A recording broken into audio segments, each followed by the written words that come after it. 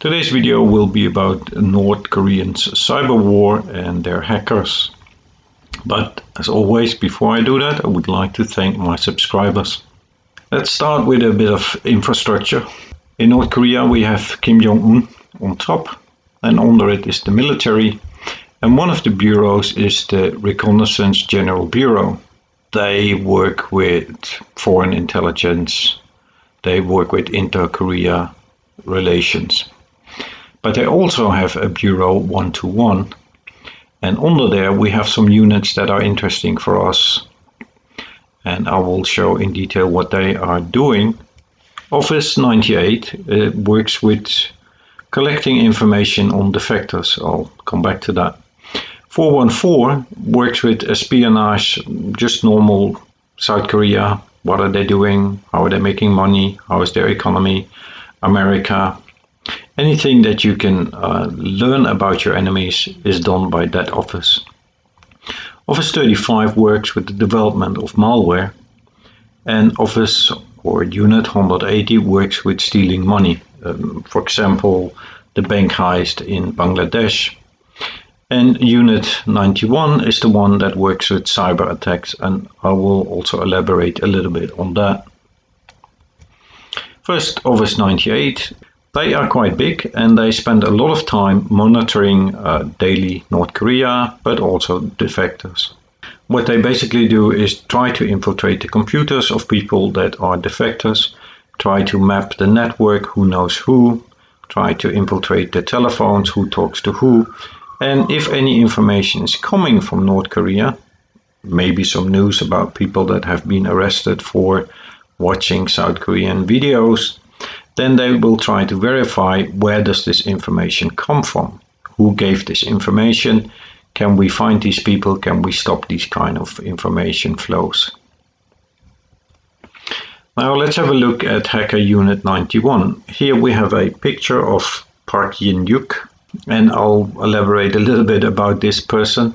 If you really want to know a lot more about it, I will leave a link in the description of the video uh, where you can read a 178 page report about it. But in North Korea, they have about 2,000 to 7,000 cyber warriors.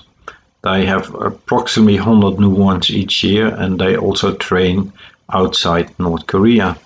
So here we have this person that, according to North Korea, does not exist, but he made these email address addresses.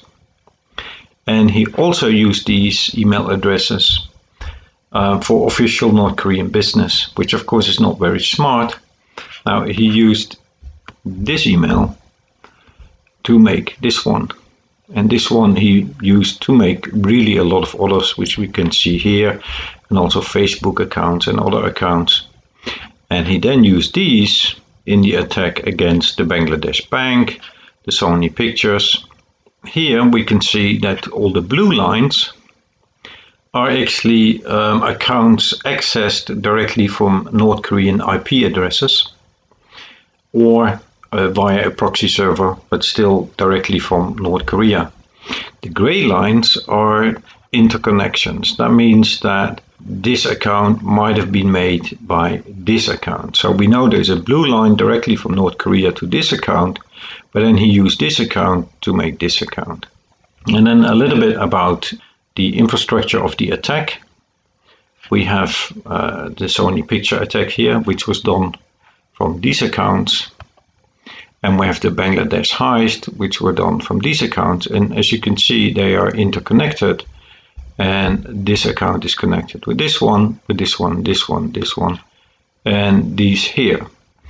And here we can see the different tools they used. These are hacking tools. I could elaborate on it, but it's just going to be an extremely long story.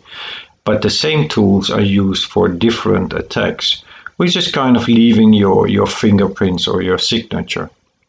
And here we have the WannaCry. I will talk a little bit about that one. Um, WannaCry is a malware piece of software that will infect a computer and then it locks it. It basically means that unless you pay, you cannot access your files. Now, when this was uh, spread, it did lock up uh, 300,000 computers. and quite a lot of them were from the NHS in Britain, and it cost the NHS six million pounds. The money they made, the money that people paid, was actually only 380,000 US dollars because the attack failed. But it still had severe consequences because many hospitals had to cancel appointments, had to cancel operations. People couldn't get their subscription uh, medicine.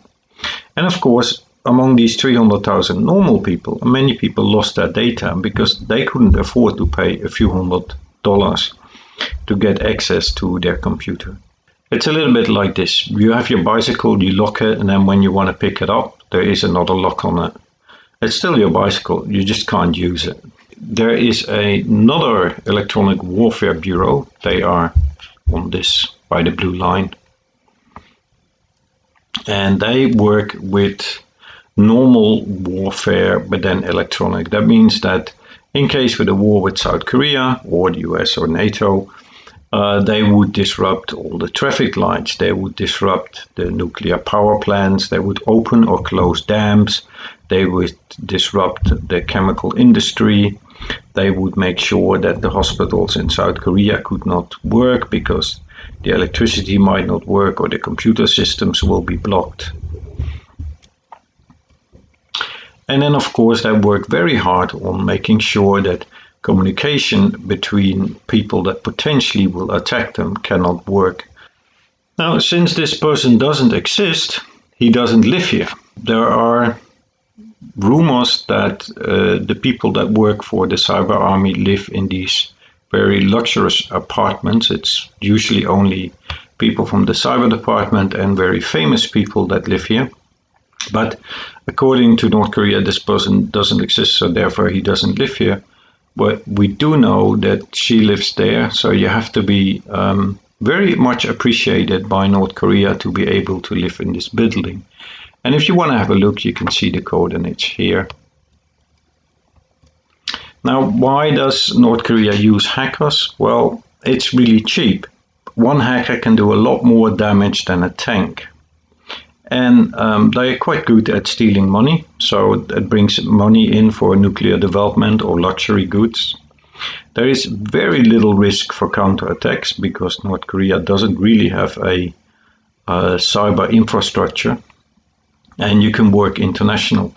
Now here we have, let's see, here we have Vladivostok, and we we have two fiber optic cables going to North Korea and of course, in case of a war, um, this would be cut as soon as possible. But it doesn't really make much difference because North Korea also works from India, Belarus, Russia, uh, until lately from Malaysia, and possibly they have people stationed in Europe that could do cyber attacks. Even though the country itself might not have access to internet anymore, they'll still be able to attack. Well, well, thanks for watching and please subscribe. Like I said, I will leave two links in the description. Uh, one is from the Justice Department. It's about the Park complaint. It's 178 uh, pages, so it's quite an interesting report to read, but it's very long. And then there's one uh, scientific paper, The All-Purpose Sword, uh, which is a peer-reviewed paper about cybersecurity and cyber warfare from North Korea and it's definitely worth to have a look at it.